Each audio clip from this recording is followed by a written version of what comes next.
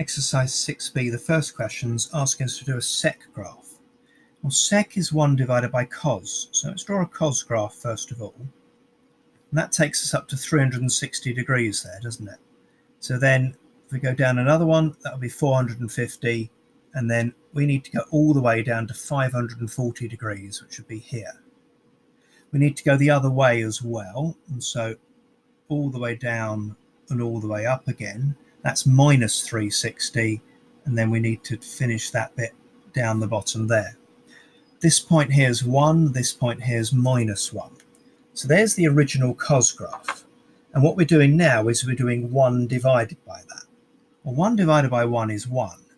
And then it's going lower and lower and lower. So 1 divided it will go higher and higher and higher. At this point here, we're dividing by 0. So we're going to have an asymptote here. Fact, there's going to be an asymptote here as well. So whenever the cos graph is zero, there's an asymptote on the sec graph.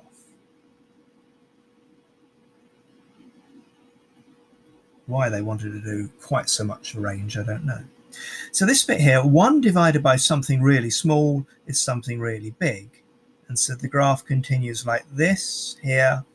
And now we're just going to get it repeating. Up the top there, and then down the bottom there. Same on this side here, there, upside down here, the right way up there, and that part there as well.